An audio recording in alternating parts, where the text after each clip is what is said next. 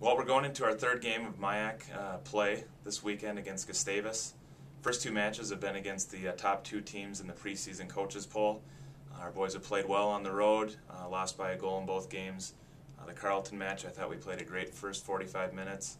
Up tempo, really played well, and then stepped down a little bit the second half. So we need to put a, put together 90 minutes against Gustavus. We had a great overtime match with them, 0-0 last year.